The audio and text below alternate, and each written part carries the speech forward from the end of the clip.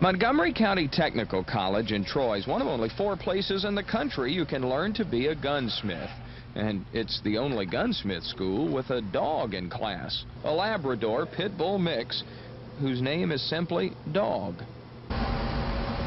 When Gary Miller came here from California to learn guns, he just couldn't leave Dog behind. In fact, he never leaves Dog behind. Yeah, he always goes with me everywhere I go. You don't go anywhere without him? Nah, I wouldn't think of it. That's my boy. And going everywhere with Gary Miller meant Dog had to learn a new trick. He learned to ride a motorcycle. Well, what can you say? This is one of those scenes that requires no comment. Just watch this combination of man, machine, and beast.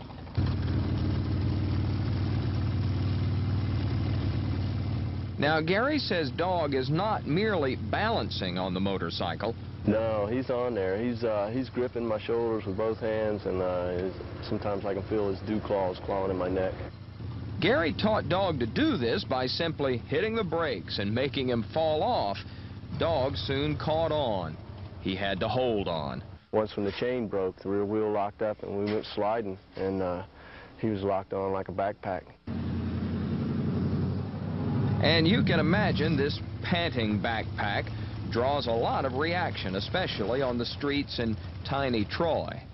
Yeah, he puts a lot of smiles on people's faces.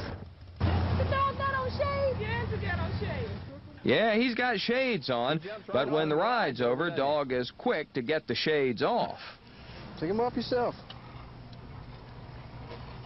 He's going to make me do it now. there, you got him. All right, Dog. Gary got Dog on a hot day in California. He traded a beer for him.